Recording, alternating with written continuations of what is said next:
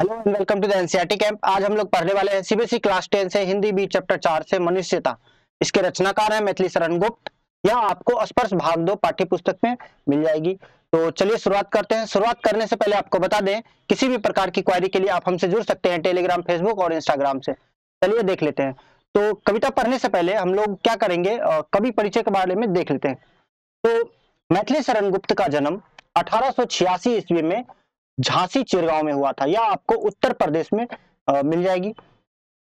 बात करें मैथिली शरण गुप्त ने आ, अपनी रचनाओं में किस भाषा का प्रयोग किया तो आपको मराठी बंगाली अंग्रेज़ी संस्कृत और विशुद्ध खड़ी बोली का प्रयोग मिल जाएगा देखने को।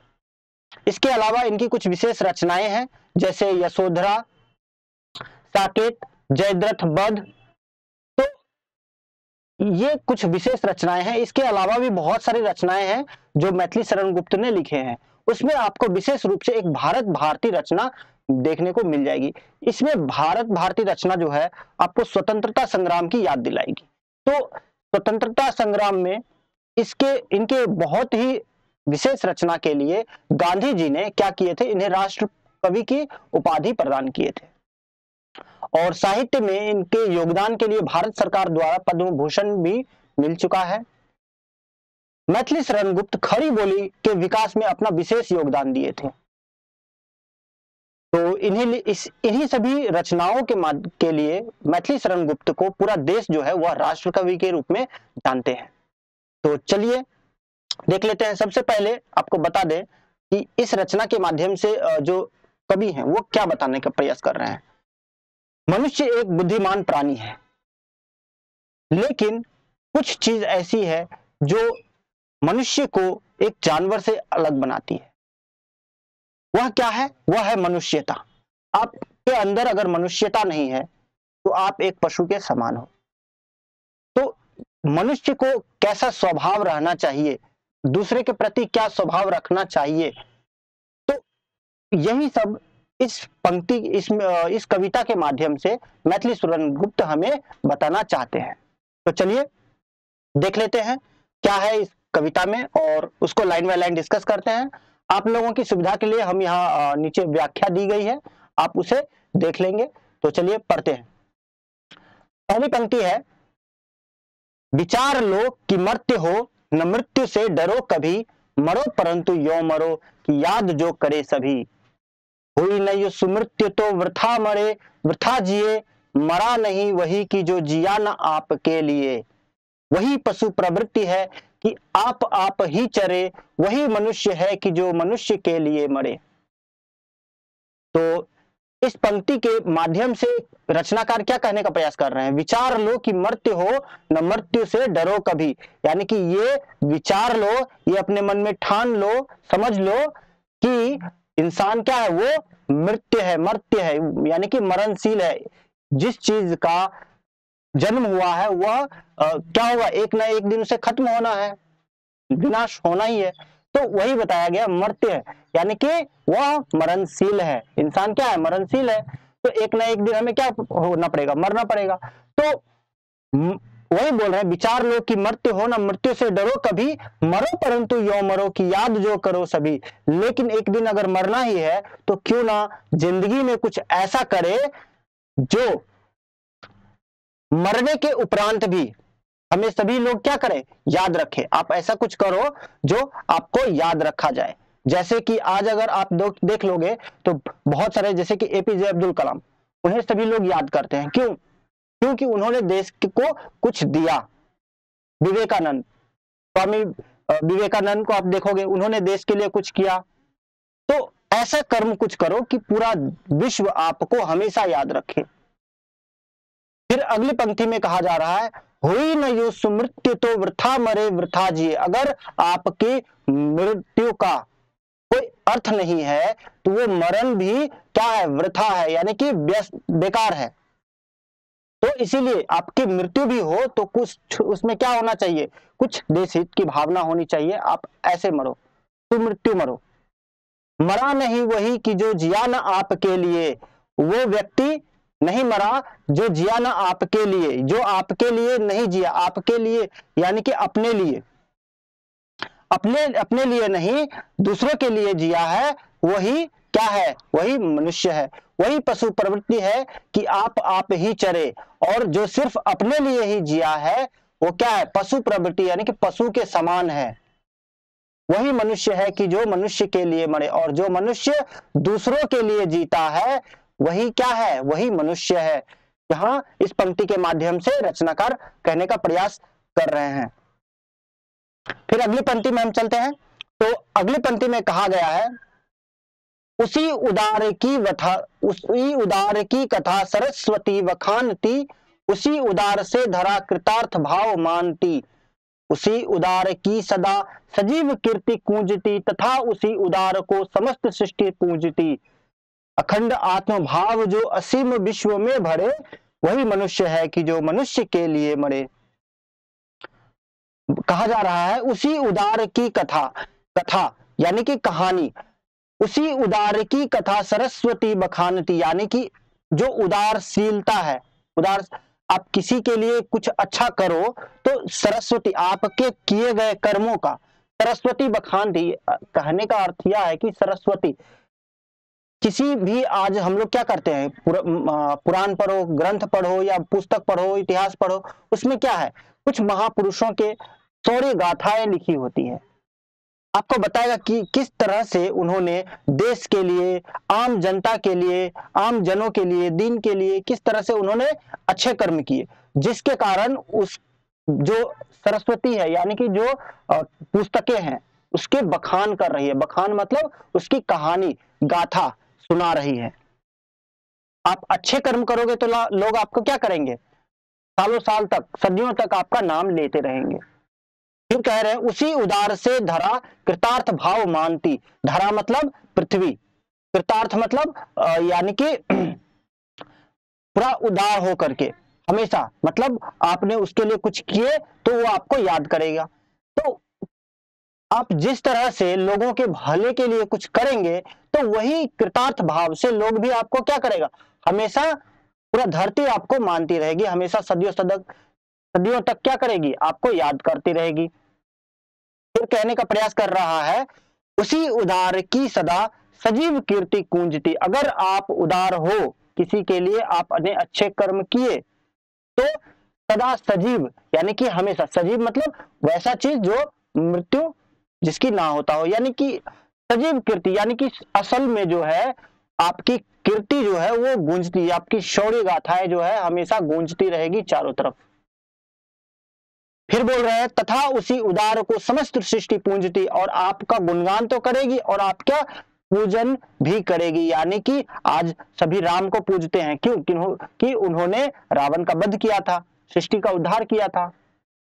उसी वजह से फिर कह रहा है, अखंड भाव, अखंड आत्म भाव जो असीम विश्व में भरे, अखंड आत्म भाव जो असीम विश्व में भरे अखंड मतलब अखंडता, जो अखंडता की बात करता है, जो एकता की भावना अपने मन में रखते हैं, वही उस, उसके जो भावनाएँ हैं, वो असीम विश्व में भरे और विश्व में भर देते हैं। वैसे मनुष्य जो है, वही मनुष्य है कि जो मनुष्य के लिए मरे। आखिर में उन्हीं लोगों का गुणगान होता है जो मनुष्य के लिए मरते हैं। चलते हैं अगली पंक्ति में। अगली पंक्ति में कहा गया है, क्षुधार्त रंति देव ने दिया करस्त थाल भी, तथा ददीची ने दिया प्रास्त अस्थि जाल भी। उसी नर क्षितिश ने स्वयमास दान भी किया, सहर्ष वीर करण ने शरीर चर्म भी दिया। अग्नि, अनित्य देह के लिए अनादि जीव क्या डरे, वही मनुष्य है कि जो मनुष्य के लिए मरे। यहाँ पे कहा गया है क्षुधार्थ रंथी देव ने दिया करस्त थाल भी। तो यहाँ क्षुधार्थ का मतलब हो गया जो भूख से व्याकुल हो। और रंती देव एक जो राजा थे, उसके बारे में यहाँ पे बताया गया। करस्त थाल, यानी कि थाल भरा हुआ भरा हुआ थाल जो है, उसको।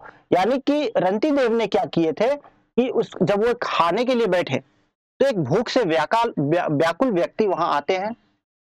तो खाने के वक्त ही अगर पहुँच गए तो रंती देव ने क्या किया? वो खुद भूखे थे, लेकिन अपना थाल क्या किए? भरी थाल उस व्यक्ति को सौंप दिए।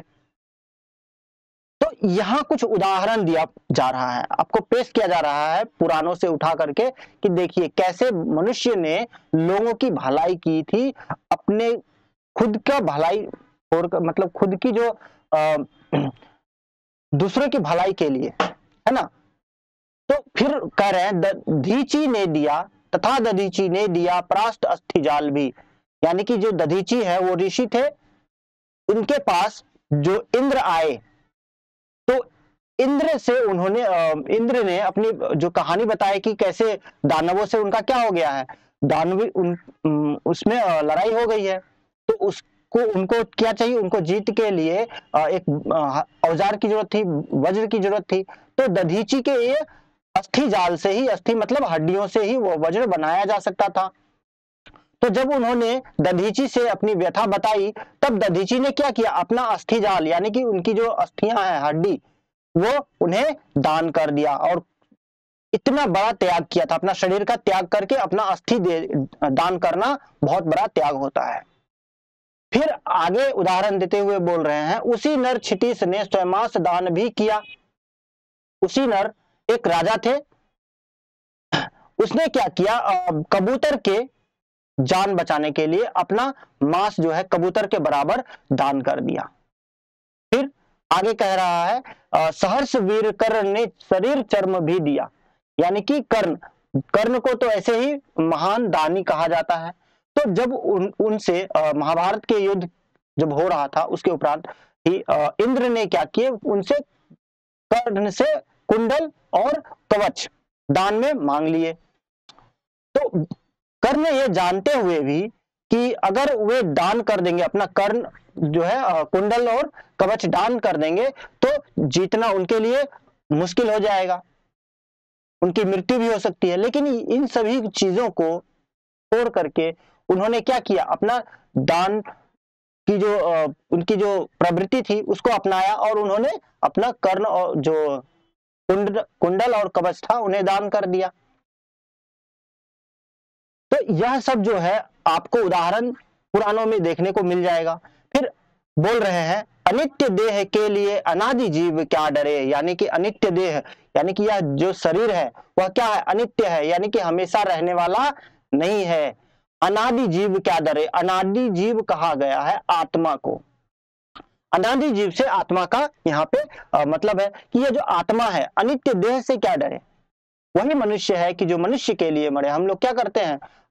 डर जाते हैं कि मृत्यु हो जाएगी ऐसे वही से। तो इन सभी चीज़ों से रचनाकार बोल रहे हैं कि ये तो जीव जो है ये जो शरीर है वो तो अनित्य है हमेशा रहने वाला है नहीं। तो अगर हमारा जो आत्मा है वो ये शरीर से क्यों डरे? ये शरीर के मरने से क्यों डरे? हम कुछ ऐसा करें जो हम क्या करें? मनुष्य हमें याद रखे, संसार हमें याद रखे। वही मनुष्य है कि जो मनुष्य के लिए मरे। अर्थात यहाँ पे कह रहे हैं, रचनाकार की मनुष्य तो वही है, जो मनुष्य के लिए मरते हैं, मनुष्य के लिए कुछ करते हैं। अगली पंक्ति में हम लोग देख लेते हैं। अगली पंक्ति में कहा गया है, सहानुभूति चाहिए, महाविभूति है यही। वशीकृता सदैव है, बनी हुई स्वयं मही। विरुद्धवाद बुद्ध का दया प्रवाह में बहा, विनित लोक वर्ग क्या न सामने झुका रहा। आहा, वही उदार है, परोपकार जो करे, वही मनुष्य है कि जो मनुष्य के लिए मरे। तो कहा गया, सहानुभूति चाहिए। तो इस पंक्ति में आपको देखने को मिल जाएगा, मैथिली शरण गुप्त सहानुभूति, उपकार और करुणा की भावना का वर्णन कर रहे हैं। कह रहे हैं, सहानुभूति चाहिए, यानी कि एक इंसान के अंदर क्या होना चाहिए? सहानुभूति होना चाहिए। महाविभूति है यही। यानी कि जिसके अंदर सहानुभूति है, उसके लिए वही महाविभूति है। महाविभूति कहने का मतलब क्या? उसके अंदर वही उसका क्या है? उपहार है। उससे बड़ा उपहार उसको और क्या चाहिए कि उसके अंदर सहानुभूति है? वसीकृता सदैव है, बनी हुई स्वयं मही। मही मतलब पृथ्वी। यानी कि वसीकृता, यानी कि पूरा जो पृथ्वी है, सदैव उसके वसीकृत में रहेंगे। यानी कि सदैव उसको क्या करेंगे? हमेशा सालों साल, वर्षों तक उन्हें याद करते रहेंगे। आज बहुत सारे महापुरुष ऐसे हैं, उनको याद किया जाता है, क्यों? उनके कर्मों के लिए। फिर कह रहे हैं विरुद्धवाद बुद्ध का उदाहरण देते हुए यहाँ कह रहे हैं विरुद्धवाद बुद्ध का दया प्रवाह में बहा विनित लोक वर्ग क्या न सामने झुका रहा। विरुद्धवाद यानी कि जो आ, समाज में फैली हुई बुराइयाँ थी। उसको समाज में फैली हुई जो आ, पीछे की जो प्रवृत्तियाँ थी उसको क्या किए? बुद्ध ने नकार दिए और आगे बढ़े। और लोगों के हित के लिए सभी चीज़ें जो पुरानी मान्यताएँ थी सभी को क्या किए? त्याग दिए और आगे बढ़े लोगों के भले के लिए काम किए उन्होंने। तो आज उन पूरा विश्व उनको क्या करते हैं? जानते हैं और उनका गुणगान करते हैं। विनीत वर्ग, विनीत लोक वर्ग क्या ना सामने झुका रहा। आज भी सभी लोग क्या करते हैं? उनके पूजा करते हैं। फिर अगली पंक्ति में कहा गया है, आहा, वही उदार है, परोपकार जो करे, वही मनुष्य है कि जो मनुष्य के लिए मरे। वही उदार हाँ वही उदार है, परोपकार जो करे, यानी कि जो परोपकार करते दूसरे के ऊपर उपकार करते हैं, वही क्या है? समाज के हित की भावना रखते हैं, वही पूजनीय है। अर्थात हमें क्या करना चाहिए? दूसरों की भलाई करें और दया दिखाएँ तो आप ही मनुष्य हैं, इंसान हैं, आप ही के अंदर इंसानियत है। यह कहने का प्रयास कहा गया है। फिर आगे बढ़ते हैं। अगली पंक्ति में कहा गया है रहो न भूल के कभी। रहो न भूल के कभी मदांध तुच्छ वित्त में, सनाथ जान आपको करो न गर्भ चित्त में। अनाथ कौन है यहाँ? त्रिलोकनाथ साथ है, दयालु दीन बंधु के बड़े विशाल हाथ हैं। अतीब भाग्यहीन है अधीर भाव जो करे, वही मनुष्य है कि जो मनुष्य के लिए मरे। अर्थात इस पंक्ति में इस पंक्ति के माध्यम से और रचनाकार जो है, जो घमंड में व्यक्ति पड़े रहते हैं, या जिसके अंदर द्वेष की भावना रहती है, और या किसी के लिए करवाहट मन में रहती है, उस उन लोगों का वर्णन यहाँ पे कहा गया है, और समझा रहे हैं कि मनुष्य को क्या होना चाहिए? घमंड द्वेष में नहीं रहना चाहिए। बोल रहे हैं, रहो न भूल के कभी मदांध, तुच्छ वित्त में, यानी कि मदान मतलब अंधे। मद में अंधे हो जाना। यानी कि आपके पास अगर वित्त है यानी कि धन दौलत है तो तुच्छ वित्त में तुच्छ धन दौलत में आप इतने अंधे मत हो जाओ। ये कभी मत भूलो कि आप आ, अनाथ जान आपको करो ना गर्व चित्त में। यानी कि आपको कभी यह नहीं बोलना चाहिए कि ये जो आप जो अंधे हो गए हो घमंड में वो आप क्यों हो रहे हो? एक दिन तो सबको सब क्या हो रहा है? होना है, खत्म हो ही होना है। सनाथ जान आपको करो ना चित्त में। इस पर घमंड मत करो कि सनाथ हो, तुम्हारे पास सब कुछ है। इस पर कभी घर्म घमंड मत करो। अनाथ कौन है यहाँ? तो उसके कोट में यहाँ पे कहा गया है कि आप जो इतना घमंड कर रहे हो तो आप क्या समझते हो? अनाथ कौन है यहाँ? त्रिलोकनाथ साथ है।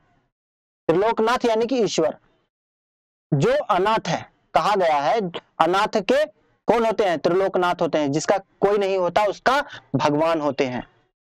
दयालु दीन बंधु के बड़े विशाल हाथ है। आपके पास कुछ भी हो, बहुत कुछ है, आप बोल रहे हो कि आपके पास धन है, दौलत है, ये है, वो है। लेकिन जो अनाथ है, उनके पास तो स्वयं ईश्वर है। ईश्वर से बड़े क्या हो सकते हैं? आपके धन दौलत तो तुच्छ है। दयालु दीन बंधु के बड़े विशाल हाथ है और जो त्रिलोकनाथ है, ईश्वर है, उसके बड़े विशाल हाथ है, यानी कि वे बहुत, क्या है, परमात्मा जो है, वो बहुत ही उदार है, सबको समेट लेते हैं। अतीब भाग्यहीन है, अधीर भाव जो करे। अति भाग्यहीन है, अधीर भाव जो करे, वही मनुष्य है कि जो मनुष्य के लिए मरे। अति भाग्यहीन है, वैसे मनुष्य जो है, वो भाग्यहीन है जो अधीर भाव रखते हैं। यानी कि दूसरे के लिए क्या रखते हैं? उपेक्षा करते हैं। दूसरे के लिए अपने मन में घमंड रखते हैं। तो ऐसे व्यक्ति के लिए, ऐसे व्यक्ति जो है, वो बहुत ही भाग्यहीन है। भाग्य से हीन है। मनुष्य तो वह है जो सिर्फ़ इसके लिए, दूसरों के लिए जिए या मरे। अगली पंक्ति में देखते हैं। अगली पंक्ति में कहा गया है, अनंत अंतरिक्ष में अनंत देव हैं खड़े। समक्ष ही स्वबाहु जो बढ़ा रहे बड़े बड़े परस्पर प्रावलंब से उठो तथा बढ़ो सभी अभी अमृत्य अंग, अंक में अपंग हो चढ़ो सभी। रहो नयो कि एक से न काम और का सरे, वही मनुष्य है कि जो मनुष्य के लिए मरे। अर्थात इस पंक्ति के माध्यम से जो रचनाकार है, वो बताने का प्रयास कर रहे हैं कि मृत्यु के उपरांत आप जब जाओगे ईश्वर के समक्ष तो आपका क्या किया जाएगा? स्वागत किया जाएगा। कब स्वागत किया जाएगा? अगर आप अच्छे कर्म करते हो तो अनंत अंतरिक्ष यानी कि स्वर्ग में आपका स्वागत किया जाएगा। किनके द्वारा? देव, देवताओं के द्वारा। वे खड़े होकर आपका स्वागत करेंगे कि आपने कुछ अच्छा कर्म करके इस पृथ्वी पर से गए हो। समक्ष ही स्वभाव जो बढ़ा रहे बड़े बड़े समक्ष स्वभाव जो बढ़ा रहे बड़े बड़े जो दूसरों के लिए अच्छे अच्छे कर्म किए हैं। परस्परावलंब से उठो तथा बढ़ो सभी। फिर आगे कह रहे हैं, परस्परावलंब यानी कि सब, परस्पर एक दूसरे के सहयोग से उठो तथा बढ़ो सभी। यानी कि सभी को क्या करना चाहिए? एक दूसरे का सहयोग करना चाहिए। तो रचनाकार कहने का, कह रहे हैं कि परस्परावलंब, एक दूसरे का सहयोग से ही आगे बढ़ना चाहिए। कोई कोई किसी के पीछे ना छूट जाए। आपसे आगे, आप अगर रेस लगा रहे हो तो ऐसे रेस मत लगाओ कि आपके अपने पीछे छूट जाए। तो फिर कह रहे हैं, अभी अमृत्य अंक पे, अभी अमृत्य अंक में अपंग हो, चढ़ो सभी, रहो न यो कि जो, रहो न यो कि एक से न काम और का सरे, वही मनुष्य है कि जो मनुष्य के लिए मरे। तो आप ऐसा कर्म करो कि एक दूसरे का काम, जैसे कि अगर मान लो कि एक दूसरे के बिना कोई काम ना हो, यानी कि आप किसी के सहयोग करो, कोई आपका भी सहयोग करे तो एक दूसरे के सहयोग से ही आगे बढ़ते चलो। तो एक दूसरे के सहयोग की भावना अगर आपके अंदर है तो आप भी आगे बढ़ोगे और मनुष्य तो वही है जो मनुष्य के लिए जीते और मरते हैं। फिर अगली पंक्ति में कहा गया है, मनुष्य मात्र बंधु है, वही बड़ा विवेक है पुराण पुरुष स्वयं पुराण पुरुष स्वयं भू पिता प्रसिद्ध एक है। फलानुसार कर्म के अवश्य बाह्य भेद है, परंतु अंतरेक्य में प्राण भूत वेद है। अनर्थ है कि बंधु ही बंधु की न अनर्थ है कि बंधु ही न बंधु की व्यथा हरे, वही मनुष्य है कि जो मनुष्य के लिए मरे। तो इस पंक्ति के माध्यम से रचनाकार पूरे संसार को एक ईश्वर की संतान बताने का प्रयास कर रहे हैं।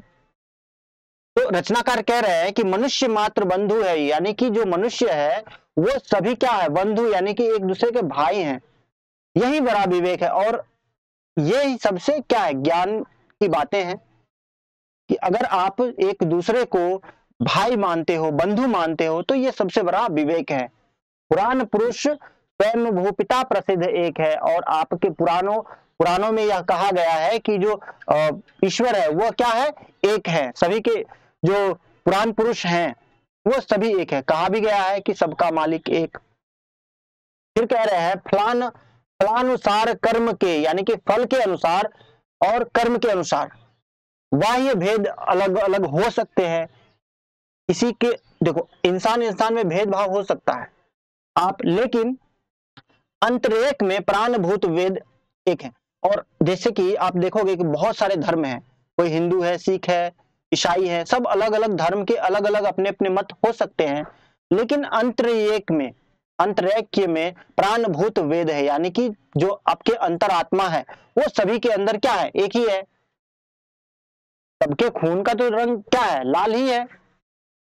अनर्थ है कि बंधु ही, न बंधु की व्यथा हरे, वही मनुष्य है कि जो मनुष्य के लिए मरे। यानी कि यह अनर्थ कहा गया है कि जो बंधु है, यानी कि जो एक दूसरे के सहयोगी है, वही एक दूसरे का सहयोग ना करें तो ये तो अनर्थ है, बेकार की बातें हैं। और वही मनुष्य है कि जो मनुष्य के लिए मरे तो मनुष्य तो वही है जो एक दूसरे का सहयोग करे। मनुष्य की परिभाषा ही यही है। हमें क्या करना चाहिए? एक दूसरे का सहयोग करके आगे बढ़ते रहना चाहिए। जीवन का सबसे बड़ा अर्थ यही है। अगली पंक्ति देखते हैं, और यह अंतिम पंक्ति है। तो इस पंक्ति के माध्यम से क्या करना, कहना चाह रहे हैं रचनाकार, वो देख लेते हैं। चलो, अभिष्ट मार्ग में सहर्ष खेलते हुए, विपत्ति विघ्न जो पड़े, उन्हें धकेलते हुए, घटे न हेल मेल हो, बढ़े न भिन्नता कभी, अतर्क एक पंथ के सतर्क पंथ हो सभी। तभी समर्थ भाव है कि तारता हुआ तरे वही मनुष्य है कि जो मनुष्य के लिए मरे। तो इस पंक्ति के माध्यम से आ, क्या कहने का प्रयास कर रहे हैं? चलो अभिष्ट मार्ग में यानी कि हमें उस मार्ग पर चलना चाहिए। ऐसे मार्ग पर चलना चाहिए कि सहर्ष हर्ष और उल्लास से कोई भी आप कोई भी काम करो और हर्ष से उल्लास से करो। विपत्ति विघ्न जो पड़े, उन्हें धकेलते हुए और रास्ते में चलते हुए आपको जो भी विपत्तियाँ आए, जो भी परेशानियाँ आए, उन्हें धकेलते हुए, उन्हें क्या करो? आप समाधान करते हुए, हँसते खेलते आगे बढ़ते रहो, उसे साइड करते हुए विपत्तियों को। फिर कह रहे हैं, घटे न हेल मेल हो हाँ यानी कि किसी से भी हेल मेल ना घटे, यानी कि मेल मिलाप हमेशा बनाए रखो। बढ़े न भिन्नता कभी, एक दूसरे से कभी भी भिन्न नहीं होना चाहिए, कभी से मन में मुटाव नहीं आना चाहिए। अतर्क एक पंथ के सतर्क पंथ हो सभी। अतर्क एक पंथ के एक पंथ अलग अलग हो सकता है, लेकिन सतर्क पंथ एक हो, यानी कि सतर्कता का जो पंथ है, वो सभी को क्या होना चाहिए? एक होना चाहिए, एक ही पंथ पर, एक ही रास्ते पर, मनुष्यता के रास्ते पर सभी को चलना चाहिए। तभी समर्थ भाव है कि तारता हुआ चले तभी समर्थ भाव है कि तारता हुआ तरे वही मनुष्य है कि मनुष्य के लिए मरे। अगर हम साथ मिलकर सभी को एक दूसरे का सहयोग करके अगर आगे बढ़ते जाते हैं तो हमारा जीवन जो है वह क्या हो जाएगा? सार्थक हो जाएगा। कभी भी हमें एक दूसरे क्या, क्या करना चाहिए?